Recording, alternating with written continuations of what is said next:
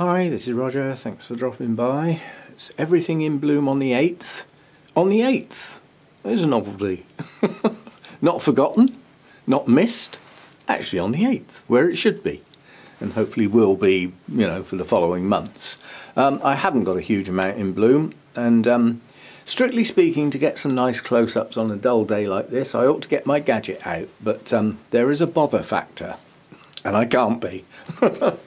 so sorry about that, um, but that's how it's going to be. Uh, I need to whip round relatively quickly. I'm in the middle of doing something else that I've just broken off from, and um, it's time's getting on in the day. I'm going to lose the light completely in the not too distant future, so I wanted to get this done. So uh, we'll go round normal way. And I'll say I'll apologise if anything's a bit blurry, but um, that gadget would be. Uh, the mood I'm in now, I'd end up throwing it through a window or something. I'm not in the mood to play games with a gadget that's not behaving itself. So we've still got the, the Vanda, uh, Vanda. We've still got the Masdevallia hybrid that's um, lasting incredibly well. It's a beautiful coloured bloom. And um, pity the plant doesn't actually match up to it, but it doesn't. It's um, struggling. Nonetheless, it's got a bloom on it. So that's that one. I'm going to have to stop crouching down like that for a bit. Um, we've still got the um, Tahitian Dancer. This is still looking good. Um, quite honestly, this would have been a good show to have actually staked four, st four um, spikes quite upright. Um, because I've got one arching right down here, one a bit below it, one in the middle of the plant, and one heading up towards the window up the back. So there's actually four spikes on there. If those had all been clustered relatively close together, uh, for once it would have looked better because I'm not too keen on staked spikes. Right, the next one has got one bloom just opened and I'm going to have to get it down. Now this is Laelonia, which is a cross between a Laelia and a Broughtonia, which some of you may have never heard of. Um, all in the, both in the Cattleya Alliance. But um, I've got to find somewhere to put it now. Because uh, I'll never hold it still enough to film. Let me try it there, see if I can get it. Because I need the, the bloom's pointing the wrong way at the moment. I need to try and get the bloom to point towards us. That's too high up, I suspect. We will try. We need to get it still. So I'll try and put my finger on it and get it to stay still for a bit.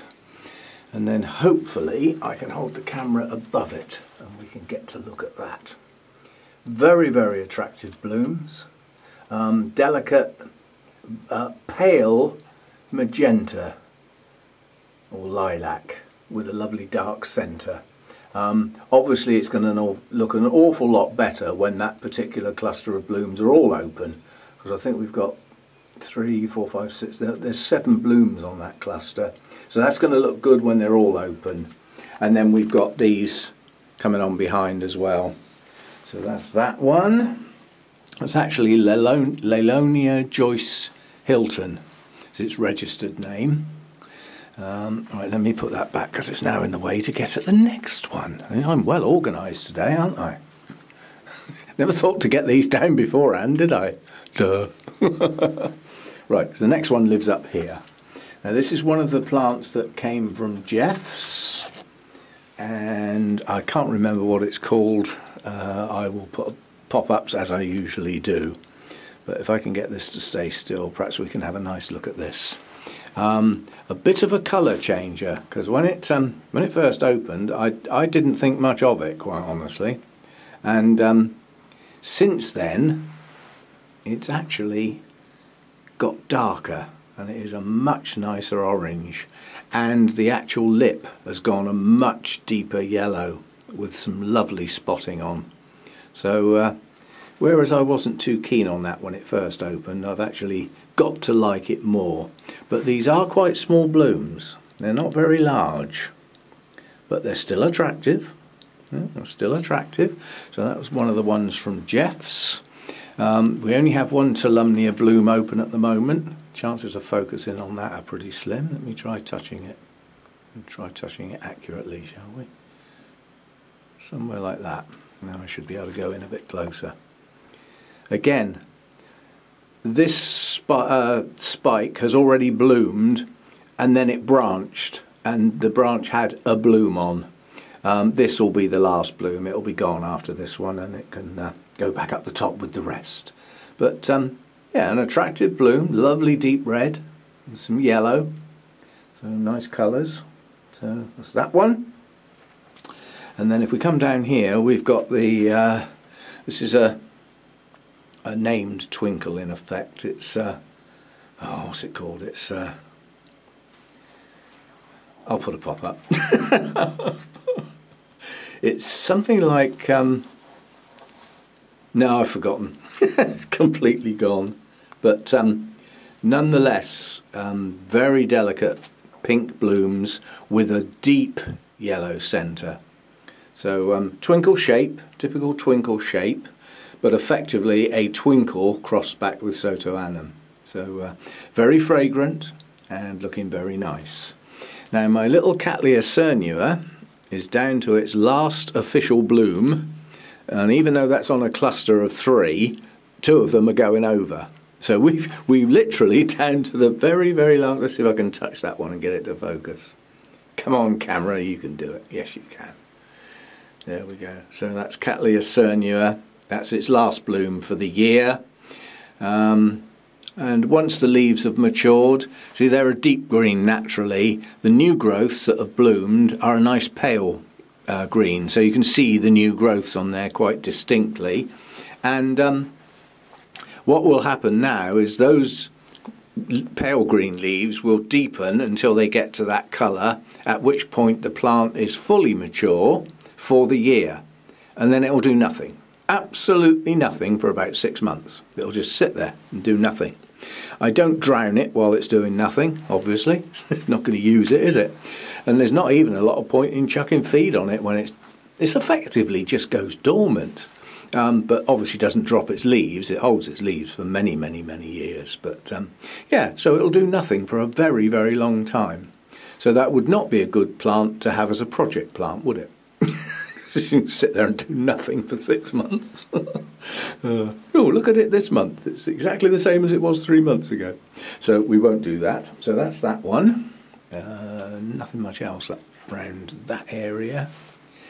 Right, I'm going to have to hold the camera right up in the air now, so I'll twist the twist the screen over, and we'll get up there, and we'll have a look at this lovely bright orange Cattleya and that is Young Min Orange. That one I do remember. It has a memory. That's why I remember it. It was um, it was got at the Norfolk Orchid Congress, national sort of event, and it was the last time I saw Chantel, lovely um, seller based in the UK, but plants came from abroad. I think they came from Carter and Holmes, something like that, in the States. Um, mainly Cattleyas, and I wanted a memory of her before she packed in her business and went to Australia. So uh, that that's a memory for me. Um, and it's, it's, a nice cluster, small, uniform orange, but as a cluster looks very nice. And um, we've got an even bigger, better cluster coming here. Notice if you look at the blooms as the buds open, they're yellow, deep orange. That's the amount of colour changing. It opens a very almost yellow, the palest of oranges, and then gets deeper as time goes on. So uh, that's that one. Oh, it's making my arm ache holding it up there. down to earth again. Right, I'll come down here. Um, this is not a good blooming. It's a sad plant at the moment compared with last year.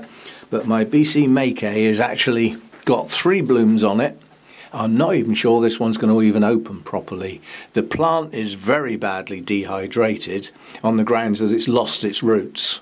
So I'm waiting for new growths and roots to form to actually get this plant going again, which it will do.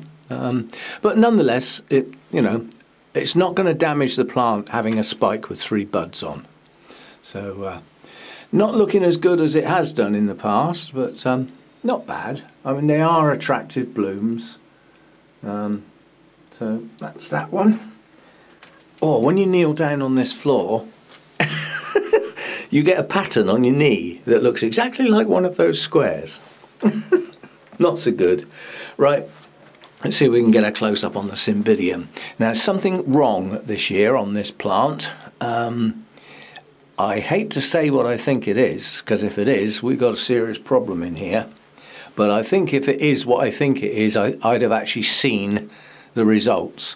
What I've got is marks on the buds. Yeah? Now they seem to be coming from the inside out. There is only one thing I know of that gets inside of buds, and it's thrips. And if I've got thrips in here, we've got a flipping problem. Um, so I'm not sure. Effectively, their adult stage is a flying insect. Now, I've got those little fungus gnats in here.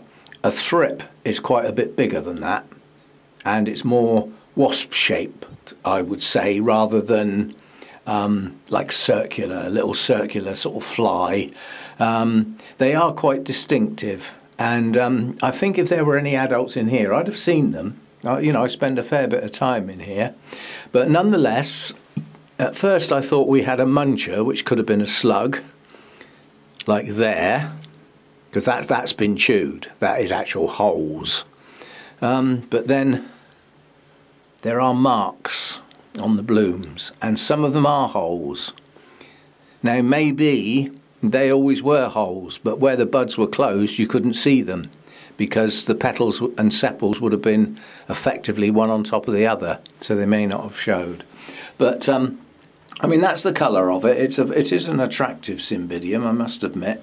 Um, it's the only one I've got. It's the only one I'll ever have. Um, but there is a problem this year with the blooming. They're um, say they're just not not quite right. There's something got at them. And as I said, I just hope it isn't thrips.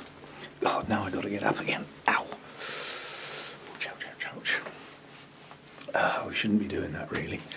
Right, so that's that lot over that side. Let me just get, get this one back up where it goes because it's in my way. You go back up there in the bright light. Bright lights, bright lights. Right, we're coming over here. We have Tiny Twinkle. Um, that's its name. And um, this, I need to get on and get this photograph done. Again, I'm waiting for a decent light. Um, but that's going to be my entry into the um, virtual table display competition for January because I haven't got much else. So that's what it's going to be, good, bad or indifferent. It's not a bad looking plant and it's not a bad blooming for a twinkle. Um, so that's that one. Um, reliable plant this one. It's been growing for me for a very, very long time. It's grown into a good sized um, miniature oncidium plant. And as twinkles go, because the plant is a miniature twinkle, but the blooms are the same size as normal twinkles, the blooms look bigger relative to the plant size. So uh, that one works well. Then coming over here, we still have the um, Dendrobium alexandrae. The fact that this is still in bloom is quite not much short of a miracle. These blooms have been open an incredibly long time. Um, Alien-like, and um, I'd say probably that's the nearest bloom to spectabile, Dendrobium spectabile, which I also have, or I have now. It's a recent sort of uh, acquisition, but um, very attractive shape, irrespective of the colours. The colours are fading now. Um, blooms have been out quite a long time.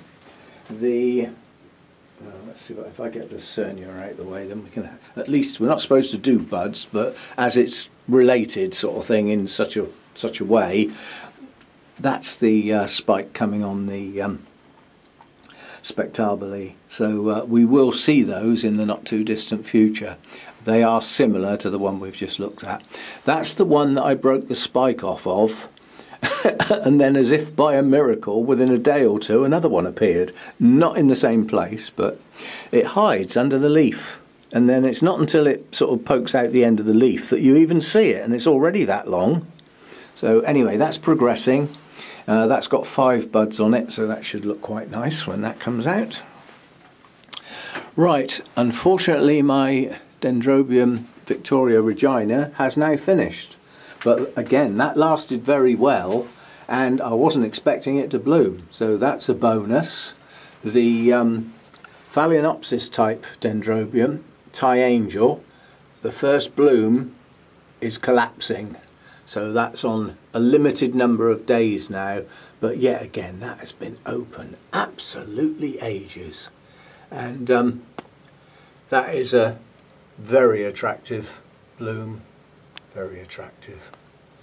I like it a lot. So that's that one. That flower spike is dead. I think that's the first Oncidium type in well Oncidium intergeneric that I've ever had where the blooms can actually die and don't fall on the floor. That whole spike is dead. I think you might just be able to just about say that that one's still hanging in there. Just possibly that one as well, uh, but it's on its way out now, so uh, that plant won't won't be up on that shelf for much longer.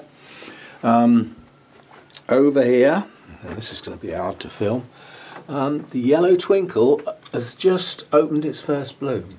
So uh, let me see if I can touch that one and get that one to lock on. Mist.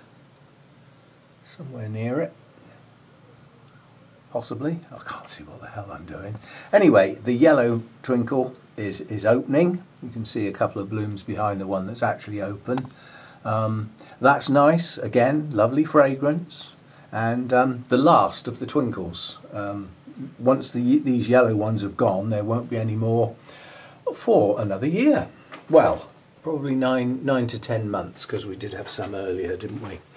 And then the cinnamon twinkle, again, very attractive. Um, nice colour, and the cinnamon twinkle has a different fragrance. This one is, it's a bit more chocolatey than just vanilla-y. Uh, technical terms those are. I'm not very good at describing fragrances, I must admit.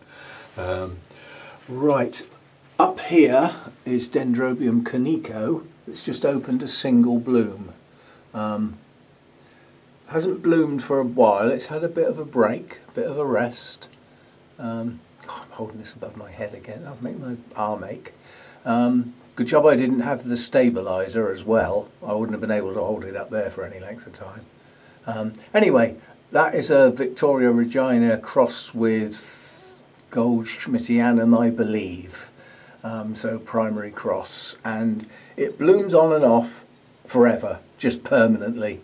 So that's that one. And then uh, last but not least is uh, Laelia anceps. And um, I'm not sure how much longer these blooms are going to last, quite honestly, but um, they have done very well. And um, it is still my favourite Cattleya bloom. I've never quite been able to say exactly why, but it, it just is something to do with the way that those stripes and spots in that lip, the shape of the lip itself, the colours on the inside. It's just something about this one. Um, just catches my eye every time I see one. And its shape, you know, it's a nice uniform shape. So only four blooms this year, but uh, that's better than none, isn't it? that's it. The only other things that are in bloom, there are a couple of um, Restrepias, but I'm not getting in and digging them out. I really would have a job to focus on them without the uh, stabilizer or tripod. So that's it, that's what's in bloom at the moment. There are not a lot of other plants to come in the near future. There are some more Cattleya buds around, um, so they'll follow on. Not much else though, but in the not too distant future we'll have um, this one, Latouria type, and one of my noblies, the buds are starting to show. So this is pushed away from the cane enough to form two buds. And this is my critical point. This is the point at which I start increasing watering and start introducing some low feed. When they're just nubbins, I don't bother. But at the moment, that plant is now having to expend energy to produce large flamboyant blooms and lots of them. So it's going to need to get that energy from somewhere. So rather than drain the canes trying to do it, because I'm not helping, I'd rather help. So that's this is the point. That's that point that I call the critical point when the buds leave the cane and start to show. and that's when I start uh, getting getting the plant going again and getting used to it, uh, getting used to having a bit more water and some very low level feed. You know, um, in a month's time, it'll be back up to being fed and watered. I don't care what the time of year is. I know it's still the middle of winter, but this plant is blooming early, so that's what it's going to get. So, uh, right then, that's that. Everything in bloom on the 8th, and um, one shoulder ache. uh, I'll live. And um, I'll see you next time. Thanks for dropping by.